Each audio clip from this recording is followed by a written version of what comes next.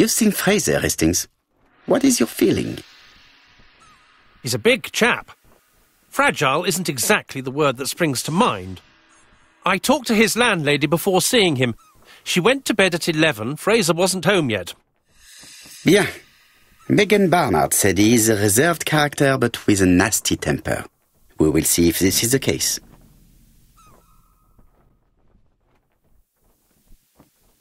That was necessary. Alrighty, let's go, buddy. Oh, I forgot how slowly he walks.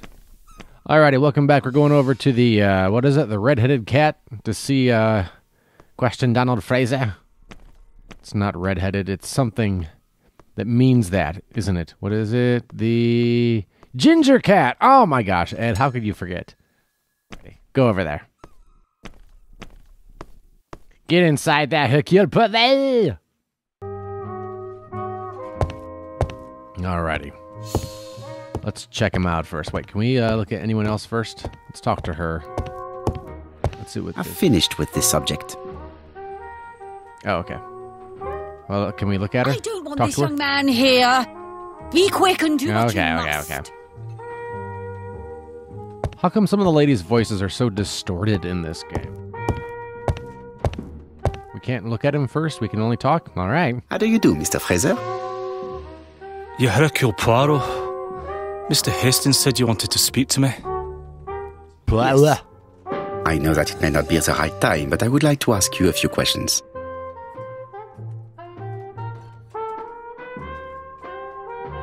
Oh, okay. Now can we look at him, please? There we go. This man Check him looks out. suspicious.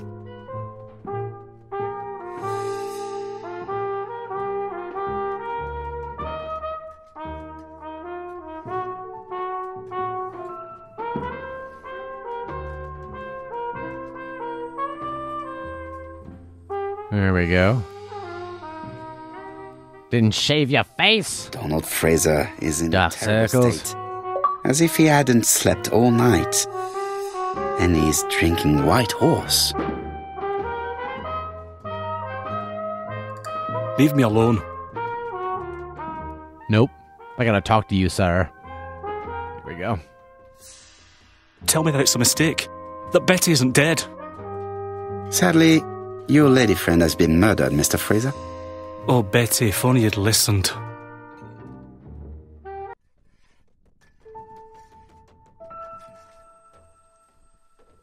Um, wh- let's ask what would have happened if she'd listened if she to had him. listened to you, she would still be alive. Should I take that to be a confession? With that sort of thinking, you must send a lot of innocent men to prison. Under different circumstances, I might even find you amusing, sir. It's no time for amusement, Mr. Fraser. It is time to find your fiance's killer. Did you know what her plans were for the evening? She said she was having dinner with her sister.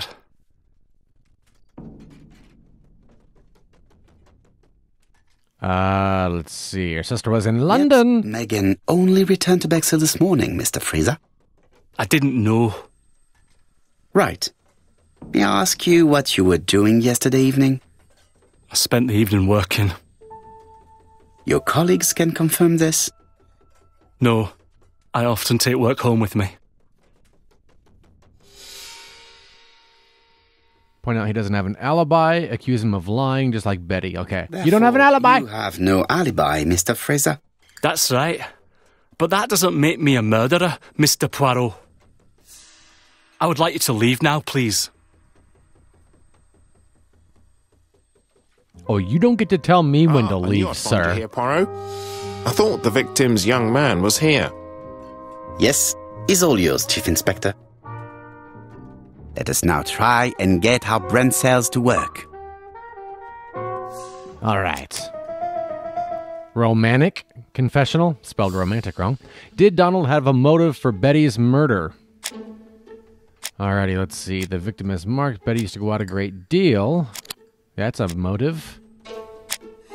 Donald was a violent man. He was very much in love with Betty. Oh no, I thought that was going to be it.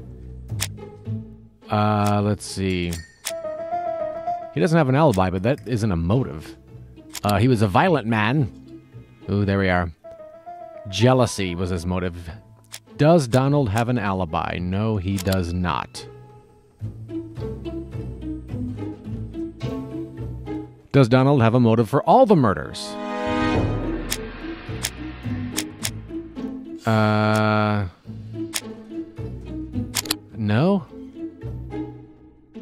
He may have killed Betty, but he doesn't have a motive for Mrs. Ascher's murder. Boy, those words go quickly. Return to the crime scenes. Synapse. Half the questions from Little Gray Cells. All right. Oh, let's look at this. What's going on here? This is a well laid table. Nothing is out of place, and above all, no creases. Ooh. no creases, huh? Alrighty, just making sure there's nothing else left in here to do. Alright. What is it? Return to the scenes of the crimes? Return to the crime scenes. Alrighty.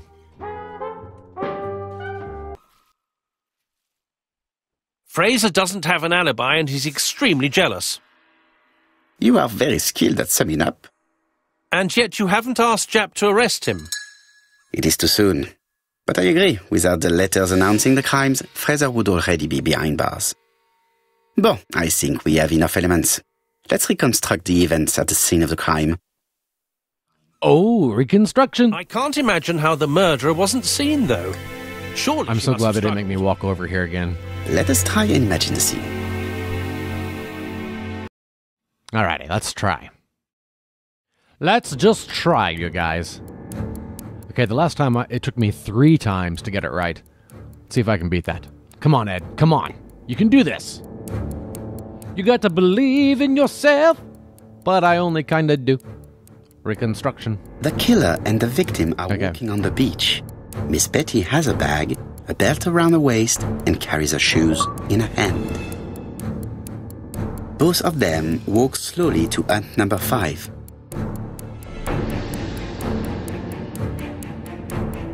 Okay, um, Betty goes to change. Miss Betty enters the hut.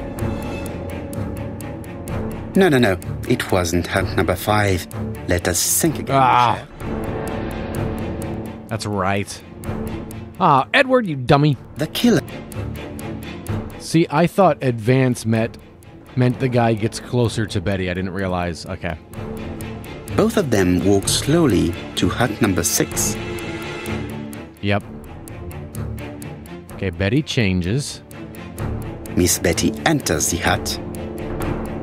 She leaves without her belongings. Then she hides a coat.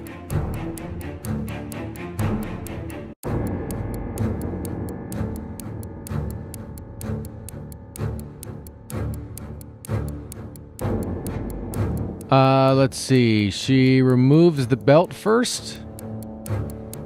Maybe I don't know how close she removed the belt. Let's find The out. killer tries to remove his victim's belt. She panics and tries to stop him. No, they were further up. She runs away, pursued by her Oh. assailant. No, there is no sign of a chase. Things must have happened differently.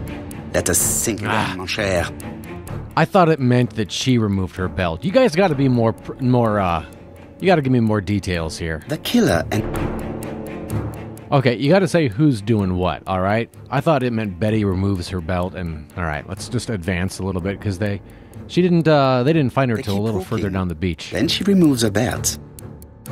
Yeah, that's what I tried to do last time. The murderer Come moves on. behind her and then attacks her by surprise. The body falls, lifeless, on the sand. Everything appears to match the crime scene, mon cher Hastings. That is exactly what happened. Three times again. Took me the third time. Come on, but this time I don't know. I feel like they cheated. you got to give me more details, you guys. Come on, man. Without the ABC, we might have suspected Mr. Ascher and Mr. Fraser. But by signing his crimes, the murderer is making sure he's accused. In a way, it is very generous of him. Generous? The murderer seduced Betty in order to lure her to the beach and kill her. Indeed, the young woman was certainly careless, but not stupid enough to follow a stranger. What are you planning to do, Poirot? Return to London, mon cher Hastings.